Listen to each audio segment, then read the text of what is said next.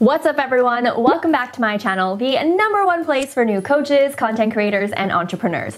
In today's video, I really wanted to break down the top rookie mistakes that I see a lot of new YouTubers making. Now, in my previous video here on my channel, I did in fact share with you my top 10 tips on how exactly I went from zero to 100,000 subscribers in just one year alone. So make sure you're checking out this video as well so that you get the full scope of all the things that I recommend you doing in order to optimize your channel. With that being said though, in this video specifically, I will be breaking down some key mistakes that are actually quite easy to fix. So if you're interested in learning how you can optimize your YouTube channel and get those really quick wins, then keep on watching. All right guys, the first mistake that I see a lot of new YouTubers making is that they are not front loading their video titles with their main keywords. Now we all know that the title of your video matters. It's the one thing that people are really reading to make sure that this video is right for them and and why they would want to watch that video in the first place. However, what people don't know about is that where you actually place your keywords within your title also matters as well. Let me explain. Now, here on my channel, I have a video all about how to go viral on YouTube as a small channel. Now, this title is awesome and all. However, if you actually go on mobile, you'll see that half of the title actually gets cut out, and all you see is how to go viral on YouTube. Now, this is obviously awesome for me because regardless if someone is browsing my videos on desktop or on mobile, at least the key point is shared. You can obviously tell that this video is about how to go viral on YouTube. On the flip side though, if the title instead was how a small channel on YouTube can go viral, then what's gonna happen is on mobile, all you'll probably be able to see is how a small channel on YouTube. Now the issue with this is that if someone is browsing my videos on YouTube, they're probably not gonna click that video because it doesn't really say it's all about going viral. All it says is how a small channel on YouTube. It's probably not as attractive to that person and therefore it's gonna affect my click-through rate. So as you can see, when you are developing the titles of your video, make sure that the key point or the thing that you want to make sure people know about in terms of what your video is all about is going to be in the front of that title rather than near the end because on mobile it's definitely going to get cut out and if your title is too long even on desktop it'll get cut out as well. Now moving on to the next rookie mistake that I see is that people are often using really generic keywords. For instance when you are optimizing your video and you're using keywords like entrepreneur, makeup tutorial, female influencer, YouTuber, you're probably not going to rank in search at all. That's why when you are doing your keywords, really ask yourself, what is someone typing in the search bar in order for them to find my video and what keywords can I use that aren't as competitive. Like I mentioned in this video right here, you can obviously use third-party apps like TubeBuddy or vidIQ, which by the way, links are in the description box below if you want to download these apps. But basically, you can use these apps in order to determine how your keywords are actually ranking. Now, in order for me to truly explain this to you, let me just share my screen.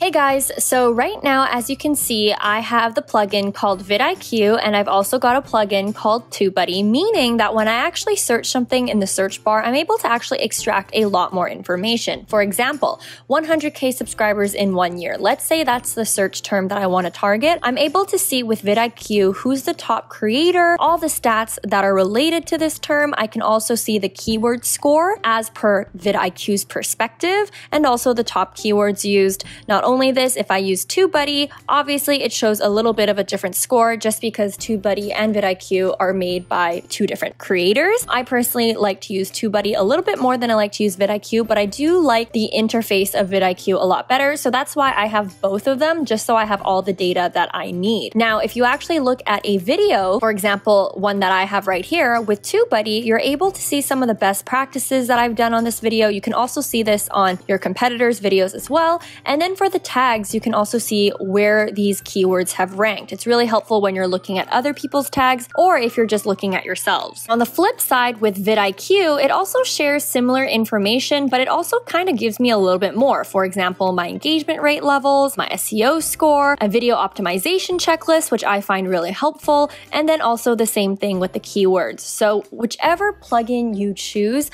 it will do the job. Just make sure to go to my description box in order to figure out how to download download these two plugins. And yeah, if you were to ask me which one I recommend more, I just would recommend downloading both of them. It doesn't really hurt. Now, moving on to the third rookie mistake that I see, and that is having a very long intro. Now, I've already mentioned this mistake in this video right here, but basically, a key mistake that I see a lot of new YouTubers making is that they're spending way too much time on the intro and not enough time actually jumping into the meat of the video. For example, what you'll notice in my channel, typically I spend about 30 seconds in actually explaining to you guys what this video is about, and then I immediately jump into what the context is. Now, what I've noticed from audience feedback is that a lot of people appreciate this. Not only this, there is no point in spending time asking people to subscribe to your channel, to hit the like button, all these things in the beginning, because if people like your videos, they will do that anyways. Not only this, from an audience retention standpoint, what I noticed when I was looking at my analytics, I saw that when I had a longer intro, people would actually click out of the video. This is really evident in this screenshot right here. And again, I also mentioned this in this video and also I believe this video as well. So if you wanna learn more about how you can increase your watch time, whether it's through scripting or through other means, make sure you check these two videos out as well. But basically, all in all, having a longer intro can actually hurt your analytics, can actually hurt your audience retention. So make sure you're being mindful of this when you are filming your videos. Now, the next rookie mistake that I wanna share with you is not actually rookie at all. And I see a lot of pro YouTubers making this mistake as well. And that is hinting to your audience that the video is over. Now, this tip is also featured in this video right here where I really go in depth on how you should be scripting your videos or at least how I script my videos that really help my channel grow. But basically, when you are doing your videos and let's say you're walking your audience through a series of tips, just like this video right here, if you are telling your audience this is the last tip or that's it for this video, or you're saying words that are really telling your audience that the video is basically over, what I found through my analytics is that people will actually click out. So if you have something more to say near the end, for example, an announcement or anything else, you definitely don't want your audience to be clicking out before that. So make sure you're not using words like, that's it guys, or that's the last tip that I have, or my last tip is, then people will actually not know that the video is truly ending. And if people do not know that the video is ending, then the chances and the likelihood of them sticking around until the end is going to be increased. And not only is that going to help your watch time, but all the information that you want to share near the end is actually going to be listened to and retained by your audience. Moving on to the next rookie mistake that I see a lot of new YouTubers making, and that is not leveraging the pinned comments feature. What you'll notice here on my channel is that I'm always pinning my own comments and I'm putting relevant links in that pinned comment. I see a lot of people only putting their links in their description box, which is fine, and I do that as well. However, what I found is that having it in your comment section pinned at the top is actually going to increase the click rates of those links that you want to share. So, for example, if you have an affiliate link, if you have your own links, if you have a partner link, make sure that you're not just putting it in your description box, but you're also putting it in your pinned comments as well. I found that all of my lead magnets definitely have higher click through rates just because I put it in the comment section. And your audience is more likely to look at the comment section than they are the description box. So just make sure you keep that in mind if you have important links to share. Moving on to the next mistake that I see a lot of new YouTubers making, and that is wrong thumbnail text placements. Now, using my own channel as an example, you'll see that on my thumbnails, I have text. However, for me, I only put my text on the left-hand side, and if I ever put it on the right-hand side, it's usually near the top part more than the bottom. And there's a reason for this. If you actually look at YouTube's thumbnails, a lot of the YouTube icons are gonna be on the bottom right-hand side.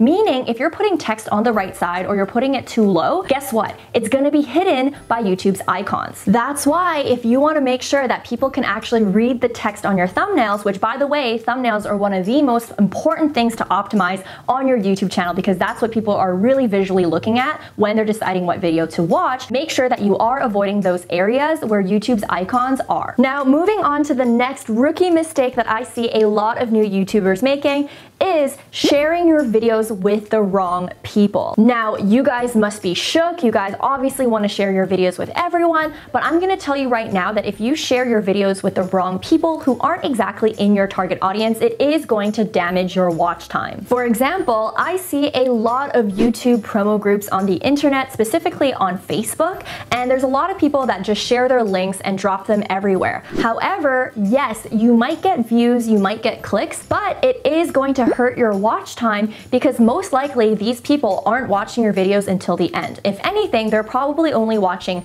10 seconds of it and then clicking out. So make sure that you are preserving your watch time because here on YouTube, watch time is king. Not your views, not your subscriber rate, but your actual watch time. If people are watching more of your video, it shows to YouTube that you have a quality piece of content and therefore it's gonna push your videos higher up in the algorithm. However, if your watch time is crap and people are only watching 30 seconds of your video, then YouTube is more likely to push it down the algorithm because it's showing to them that your content isn't that great. So make sure when you're dropping your links that you're actually sharing it with people that would genuinely watch your video. Now, speaking of preserving that watch time and making sure that your videos are entertaining enough for people to watch until the end, a pro tip that I have for you is to have good video editing. And a mistake that I made here on my channel is I spent a lot of my time editing my videos, even when I technically could afford hiring a video editor. That's why if you are someone who's at a place where you're thinking of hiring a video editor, I definitely want you to hit that notification bell because in my next video,